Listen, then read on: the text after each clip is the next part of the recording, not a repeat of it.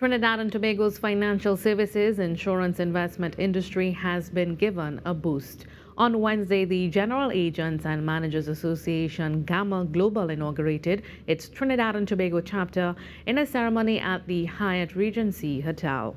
President of GAMA TNT, Amy Russo, said this move will only serve to benefit member organizations and augurs well for the industry's progress regionally of GAMA's chapter in Trinidad and Tobago brings forth a multitude of benefits, such as heightened customer experience, bolstering the, section, the sector's distribution system, unearthing the latent potential of Trinidad and Tobago and the Caribbean, improving product offerings, and providing education that integrates technology while also partnering with companies and regulatory bodies to promote business growth policy alignment, and prudent financial management.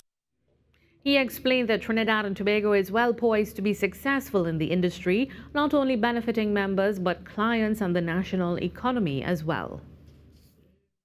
As Trinidad and Tobago holds the distinction of being the Caribbean's financial capital, the GAMA TPT's chapter arrival has potential to trigger momentous economic and social improvement in our country with reverberations felt throughout the region.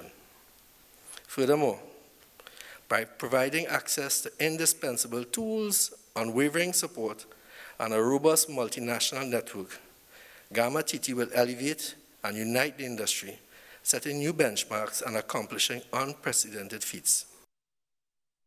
GAMA TNT is the second chapter in the Caribbean region with GAMA Bahamas inaugurated two years ago.